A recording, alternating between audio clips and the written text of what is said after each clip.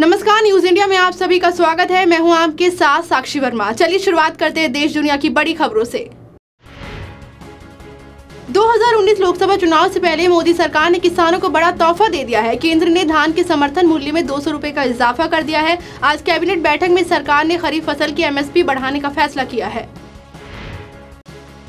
महान दार्शनिक स्वामी विवेकानंद की आज 116वीं पुण्यतिथि है। 4 जुलाई 1902 में विवेकानंद ने इस दुनिया को अलविदा कह दिया था। विवेकानंद को दुनिया भर में युवाओं के लिए एक मिसाल माना जाता है। उन्होंने न सिर्फ़ भारत के उत्थान के लिए काम किया, बल्कि लोगों को जीवन जीने की दिशा भी दिखाई। दिल्ली की आप, सरकार और उपराज्यपाल के बीच काफ़ी लंबे समय से चल रही जंग के बीच आज सुप्रीम कोर्ट ने ऐतिहासिक फैसला सुनाया है। सुप्रीम कोर्ट ने कहा है कि उपराज्यपाल दिल्ली में फैसला लेने के लिए स्वतंत्र नहीं है। एलजी को कैबिनेट की सलाह के अनुसार ही काम करना होगा। इसके अलावा सुप्रीम कोर्ट ने साफ़ कर दिया है कि दिल्ली को पूर्ण राज्य का दर्जा देना मुमकिन नहीं है। कांग्रेस अध्यक्ष राहुल गांधी आज अपने संसदीय क्षेत्र अमेठी के दो दिवसीय दौरे पर पहुँच गए हैं। यहाँ से उन्होंने मिशन यूपी की शुरुआत की।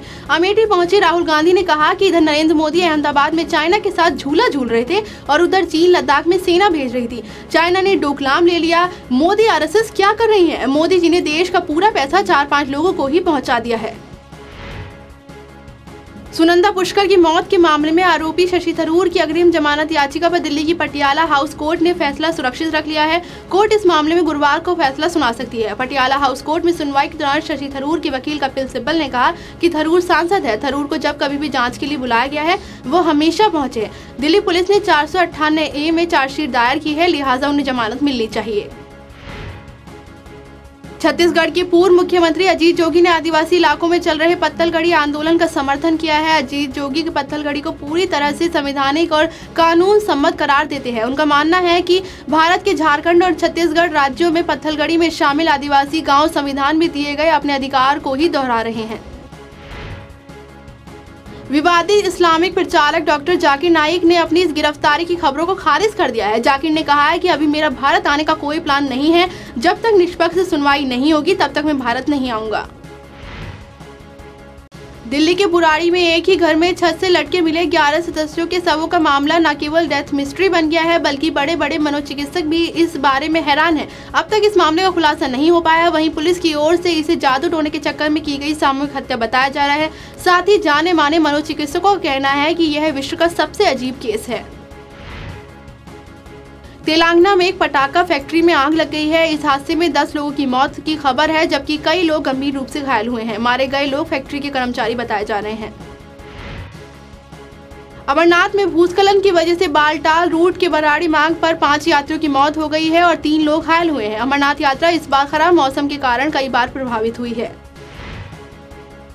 दक्षिणी दिल्ली में 16,500 पेड़ काटने के मामले में आज दिल्ली हाई कोर्ट ने जस्टिस गीता मित्तल और जस्टिस हरिशंकर की बेंच के सामने सुनवाई हुई। ये सुनवाई तकरीबन आधे घंटे तक चली। हाई कोर्ट ने एनबीसीसी डीडीए और अन्य विभागों को फटकार लगाई और सवाल किया कि एक तरफ़ देश के दो बड़े अस्पतालों एम्स और सफदरजंग के बाहर मरीजों को पानी मुहैया नहीं करा पा रहे हैं और ठीक दोनों अस्पतालों के सामने ही रीडेवलपमेंट के नाम पर पेड़ों की कटाई की जा रही है। लिहाजा अगर ज़रूरत पड़े तो इस पूरे प्रोजेक्ट को रोक लगा देंगे। फ़िलहाल पेड़ों की कटाई पर 26 जुलाई तक के लिए रोक लगा दी गई है। हिमाचल प्रदेश में बीते तीन दिन में बारिश का कहर देखने को मिल रहा है। शिमला में पिछले 45 घंटे में रिकॉर्ड तोड़ बारिश हुई है। बारिश इतनी अधिक हुई है कि तेरह साल का रिकॉर्ड टूट गया है। बता दें कि शिमला में दो दिन में सीज़न में सबसे अधिक एक एम बारिश रिकॉर्ड की गई है।